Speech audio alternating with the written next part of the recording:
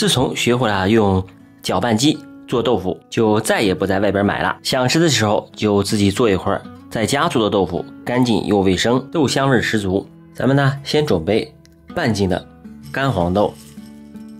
家里边没有秤的话，用这种小碗儿，基本上一碗就可以。把黄豆呢倒到碗中，我们给它清洗一下，一定要多清洗两遍，去除一下它表皮的杂质。清洗好以后，把这黄豆捞出来，我们放入到破壁机中。我们再加入二斤的清水，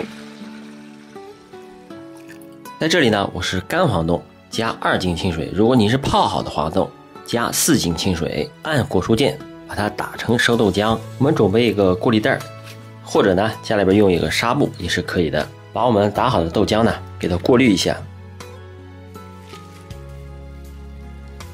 过滤出来这豆渣呢，咱不要丢，用它来炒个鸡蛋或者炸个丸子，非常的不错。把这个浮沫我们给它撇去，撇干净以后倒入到锅里面，开大火把豆浆给它煮开，然后再煮三到五分钟。豆浆煮好以后呢，把它再晾五分钟，温度降到八十到八十五度。我们再准备一些。豆腐盐卤，把豆腐盐卤呢，我们给撕开，倒入到一个小碗中，再加入一些的清水，用筷子呢给它搅化，这样咱们的卤水就做好了。这时已经晾好，用筷子呢把上面这一层豆腐皮给它挑走，它呢就是腐竹。然后呢，我们开始点卤水，慢慢的给它倒，不要一下子倒进去，用勺子呢给它推动。再倒，再推动。我们一定要注意观察我们的豆浆的变化。这时，咱们能看到咱们的豆浆呢，点完卤水以后有这种小块的状态就可以了。我们盖上盖子，给它静置十分钟。把这纱布呢放到盆子里面，用开水呢给它烫一下。一是消毒，二呢我们一会儿在做豆腐的时候更加容易脱模。取出我们的豆腐模具，把烫好的绒布，嗯，给它铺在下面。经过十分钟，已经好了。打开锅盖，用勺子我们舀一下。这时候呢，就是豆花。喜欢吃豆花的，我们就可以吃豆花了。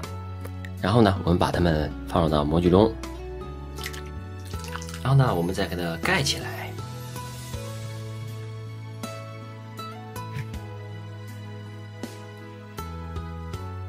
盖上豆腐模具。杯子里面装满水，放在上面给它压起来，或者呢放块石头都是可以的，给它压十五到二十分钟。这时候已经压好了，把上面的重物都拿去，扣上一个盘子，把它倒扣过来，